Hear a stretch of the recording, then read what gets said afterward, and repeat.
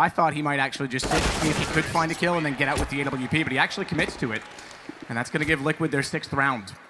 It absolutely is. And we arrive at maximum loss bonus, I think, as well. Fourth stage, $2,900 per player on the ENCE side. And this is the moment for Stewie that really turned around on his head. How he gets that kill, that's insane. Oh my God. Stewie2K's had a fantastic tournament, but that was something quite special.